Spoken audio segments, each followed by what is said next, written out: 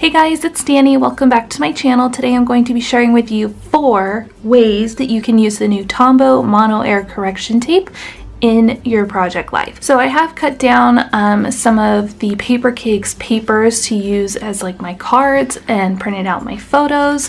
So I'm just going to go ahead and get started. So for the first technique, all you have to do is take your Mono Air Correction Tape and you swipe some kind of wherever you think you want it and what you can do, you can see I put it like right there.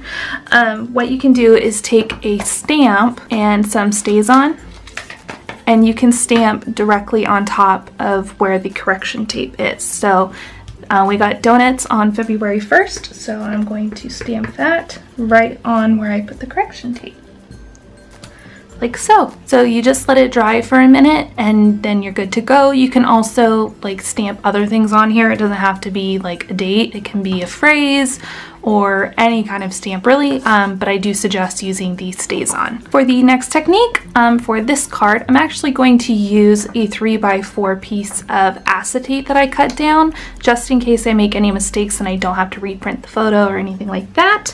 Um, so again, you take your correction tape runner, and I am going to just kind of layer the acetate on top of my photo and card so I kind of know where to put the correction tape and I'm just going to run this directly on top. That way my correction tape is on the acetate because I'm notorious for like having really crappy handwriting and that's what we're going to be doing is writing just a little phrase that goes with this picture. So this day we had like new security stuff and internet and all that stuff like installed in our house.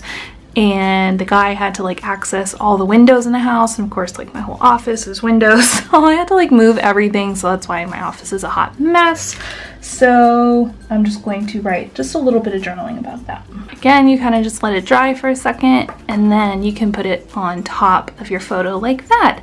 Again, you could do this directly on your card, but I didn't want to risk like messing it up. So I've got the little photo overlay and I'm going to put this back in the pocket. For the third technique, we're going to be using another acetate sheet because we're going to create a photo overlay, just like a decorative overlay.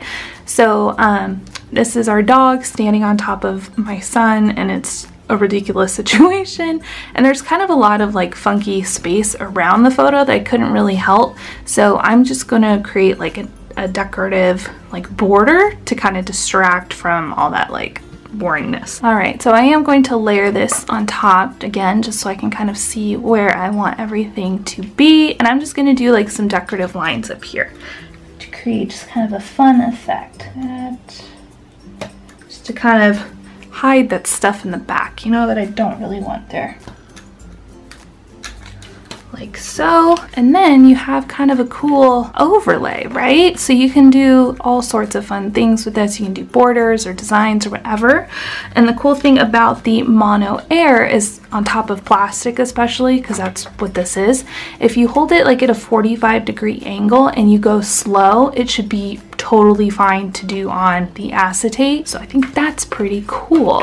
So I'm gonna put this back in the pocket. And then for the fourth technique, all I did was make a larger area of white using the correction tape and then took the same mono twin pen, did a little bit of journaling, and now I'm going to make like a shaker pocket. So the cool thing about doing it on the acetate is that it kind of disappears once it's you know, in the pocket. Oh, I did forget. I wanted to add a little embellishment on there. And here I'm just using my favorite permanent adhesive plus also from Tombow because I love me some Tombow adhesives. Where do I want this? I think maybe just like right in the middle and then you just pop that in there. It looks like the little doodad is floating. And then I made this little sequin mix that I'm just going to dump in here. And now we have a fun shaker pocket with journaling on it. So I think that's pretty cool. I might add some pink sequins in there.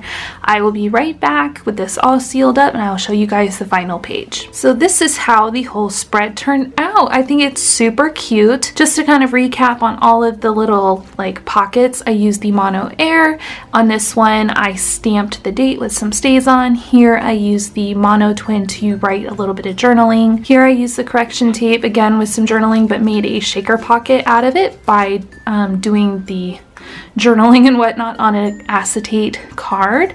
And then here I just used the Mono Air to make like a little decorative border. I'll Make sure to head over to the Tombow blog if you want to see like some up close pictures and things. I will leave a link to that down below. I hope you guys enjoyed this video. If you have not subscribed yet to my channel, you can do so by clicking right here.